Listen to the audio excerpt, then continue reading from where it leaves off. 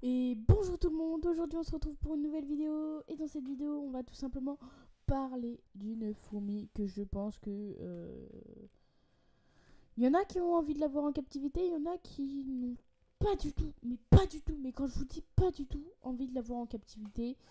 Et je pense que moi, bah, c'est plutôt du deuxième avis.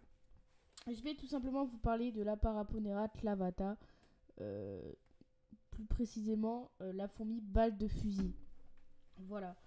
Euh, je pense qu'on la connaît tous, hein. on en a forcément tout le temps entendu parler, que ce soit aux médias, que ce soit en regardant des vidéos YouTube. donc voilà, donc je vais tout simplement vous en parler aujourd'hui. Avant que la vidéo ne commence, j'aimerais tout simplement remercier tous ceux qui s'abonnent et continuer à vous abonner, à faire comme eux. Merci du fond du cœur. Euh, et je voulais aussi vous dire désolé pour la qualité du son. Euh, je sais pas s'il y a une réelle différence, mais je suis un peu malade, j'ai mal à la gorge, donc euh, j'essaie de vous faire quand même du contenu bien bah, pour que tout simplement vous puissiez être tranquille, quoi. Et donc voilà. Et donc le truc, c'est que voilà, donc on n'hésite pas à continuer à s'abonner. Et surtout que bah toutes les si je trouve au moins deux jeans euh, dans la nature euh, pas enfin si je trouve deux jeans euh, les mêmes et bah tout simplement je vous en ferai gagner une. C'est mon petit moyen de vous dire merci. Donc voilà. donc au niveau de cette fourmi qui est déjà énorme car elle fait à peu près 3 cm de longueur. Je sais pas si vous vous en rendez compte. Prenez une règle vous mettez trois, vous tracez peut-être un petit trait de 3 cm et vous vous dites ok bon bah ça c'est une petite fourmi moi ouais ouais ça fait flipper ouais. Personnellement c'est pas franchement je kifferais pas les avoir dans mon lit vraiment. C'est pas c'est pas vraiment enfin je sais pas je suis pas pas ouf pas fan tu vois. Donc je vais tout simplement vous parler de quelques petites conditions d'élevage basiques euh, pour tout simplement maintenir ces fourmis. Déjà euh, la première chose euh, à faire est de tout simplement avoir beaucoup d'espace. Donc un terrarium, c'est très bien. Il faut dans tous les cas un terrarium pour cette espèce. donc vous pouvez, je pense, la mettre en terra. ce qui est bien aussi, je pense, c'est pouvoir la mettre dans des très très gros tubes de euh, compartimenter par exemple de chez Fourmium les tubes en plâtre et prendre le plus gros diamètre possible car elles sont énormes tout simplement et tout simplement euh, bah, le but euh, c'est de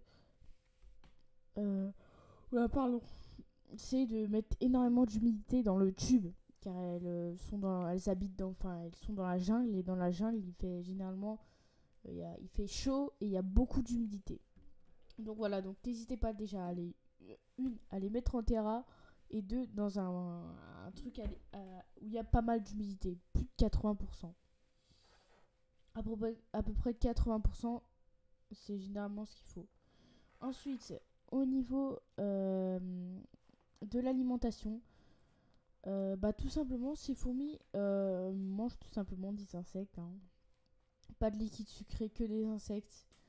Et le mieux, tout simplement, c'est de leur donner du vivant. Parce que le mort, bah, ça, entre guillemets, ça va pas être amusant pour elles, tu vois. Donc le mieux qu'il faut faire, c'est de leur donner du vivant pour qu'elles puissent chasser. Et je parle pas d'une petite... oh, un petit verre de farine. Vous pouvez leur donner ça, mais essayez de trouver des trucs assez gros. Donc par, exemple des criquets. si vous trouvez des petits criquets, tac, vous les mettez dans le dans leur euh, ADC, dans le terrarium, vivant. Et vous laissez tout simplement les Paraponera euh, clavata euh, faire le travail ensuite. Elles les attraperont. Une fois qu'elles les ont attrapées, elles les tueront. C'est fini pour le cricket. donc tout simplement, c'est une fourmi qui est assez connue par son nom. Donc la fourmi balle de fusil. On se demande pourquoi. Parce qu'à peu près, comme ce serait une légende mais bon, maintenant c'est plus trop une légende. Euh, il y aurait tout simplement euh, la sensation euh, de enfin la piqûre est équivaut à avoir la sensation de se prendre une balle. Donc pour déjà pour vous dire à peu près la douleur, c'est l'une des plus grosses c'est l'une des plus grosses douleurs qu'on peut avoir au monde, je crois. euh, une piqûre de cette fourmi équivaut euh, à 30 fois plus puissante que celle d'une guêpe. Donc déjà, moi je trouve qu'une guêpe, ça fait quand même un peu mal. Hein. ça fait quand même mal, ça fait limite monter les larmes aux yeux. Mais alors, vous, tu prends une, truc de paraponera lavata, t'es finito, mon pote. T'es finito, là, là t'es KO. Là, là, là, pendant, un petit temps, là, t'es... Hum, hum, j'ai mal. Donc, généralement, euh, la piqûre, euh, après, il faut compter à peu près 24 heures euh, pour que la douleur parte. Donc voilà, sachant que c'est euh, donc elles injectent leur venin et le, venin, ce qui est bien de faire quand vous l'avez, c'est de bouger. Quand vous faites piquer, essayez de bouger. Euh, essayez de bouger par exemple, euh, bah, tout simplement pour faire circuler le venin dans votre corps et qui s'évaporera ensuite via du coup la transpiration. Donc voilà, c'est déjà pas mal de trucs comme ça, des petites choses comme ça. Euh, bien sûr, euh, malheureusement, on peut avoir des réactions allergiques. Euh, donc des réactions allergiques qui peuvent être mortelles, hein, je tiens à le souligner. Donc voilà, quand on prend une paraponera, une ponérine en général, c'est pas si on les prend pas pour les bah, pour le fun quoi. Enfin, on prend pour essayer de les avoir, mais c'est pas un jouet, c'est pas comme si vous prenez dans tous les cas une messor, ça va pas être hyper simple. Non, loin de là. Donc euh, dites-vous que c'est pas la petite fourmi, si elle te grimpe sur la main, tu vas être Ah bah attends, je vais la prendre, je vais la mettre dans la DC. Non. Là, si elle te grimpe sur la main, mon pote, t'as intérêt à vite la dégager, sinon. Sinon, je vais passer un seul quart d'heure. Un seul 24 heures, pardon. donc voilà, c'est assez important.